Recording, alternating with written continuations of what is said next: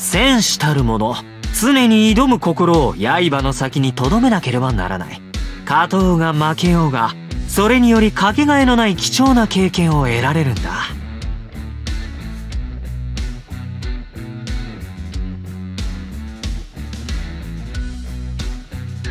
君も知っていると思うけど俺は彼女と馬が合わないんだ。それに今となっては彼女のことを語る必要もないだろう。ファトゥスにとって四季は自分で決められるようなものじゃない。でも安心してくれ。何があろうとも俺は全力で生きていくから。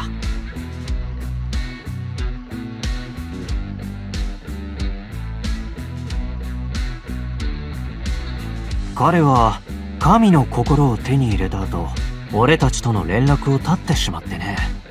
だからその心を取り戻すために行動を開始した俺はいろんな場所を回るのは別に構わない。もしかすると偶然どこかで君に会うかもしれないね。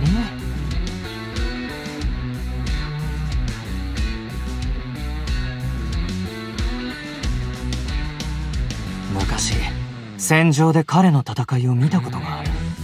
その姿はあまりに勇猛なものだったよ。ただ俺の席は後ろすぎる。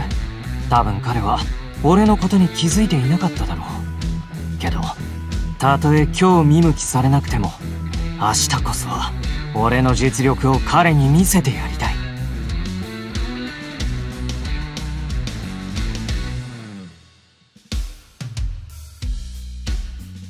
彼は年齢別に自分の擬態を作って様々な任務を担当させているらしい。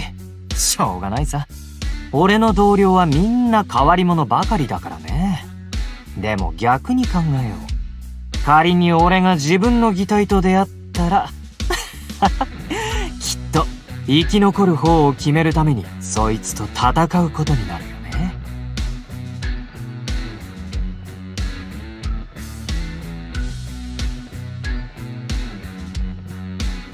打算的な人は別に嫌いじゃない。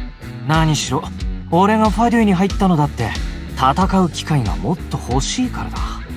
けど俺はどうしてもこいつのことが気に入らない。裏切ることで利益を手にできるのなら彼女は躊躇なく上皇様に刃を向けるだろう。彼女の目には狂気しかないから。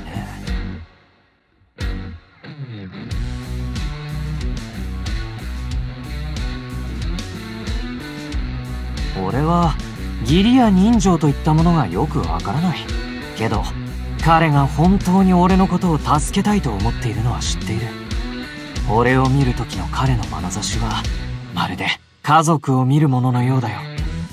ああそういえばトーニャとテウセルからの手紙には彼がうちに送ってくれたパイやプレゼントのことがよく書いてある。どうやら俺が東国を離れている間彼は約束通り俺の家族の面倒をよく見てくれているみたいだ。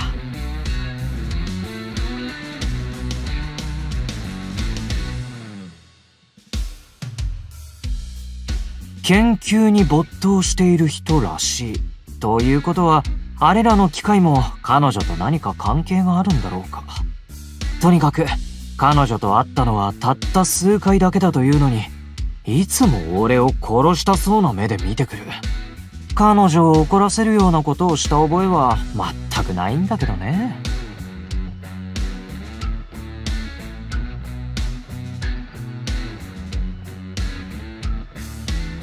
ああ壮大な計画ばかり考えているあの野心家のことか。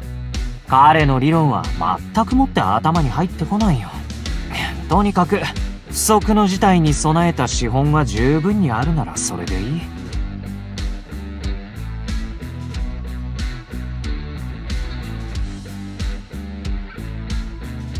ファテスの席は実力によって決まる。けどなんであの子が第3位にいるのかはよくわからないんだ。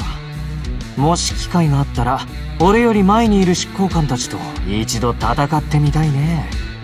ただどうしてか彼女とはあまり戦う気が起きないんだ。とにかく君も気をつけた方がいい。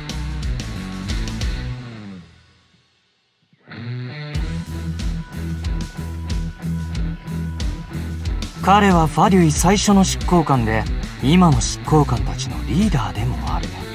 ただ重要な場面でしか姿を見せないんだ。彼の功績については正直興味がない。俺が忠誠を誓うのは女皇様だからね。